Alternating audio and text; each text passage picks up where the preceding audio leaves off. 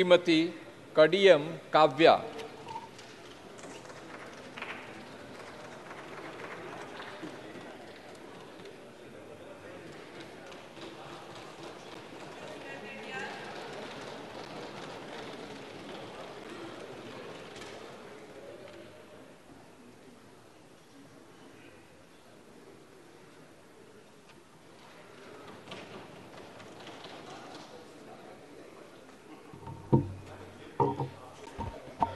Doctor Kadiyam Kavya అను నేను లోక్సభ సభ్యురాలిగా ఎన్నికైనందున శాసనం ద్వారా నిర్మితమైన భారత రాజ్యాంగం పట్ల నిజమైన విశ్వాసం విధేయత చూపుతానని భారతదేశ సార్వభౌమత్వాన్ని సమగ్రతను కాపాడుతానని నా బాధ్యతలను శ్రద్ధాసక్తులతో మరియు అంతఃకరణ శుద్ధితో నిర్వహిస్తానని దైవ సాక్షిగా ప్రమాణం చేస్తున్నాను.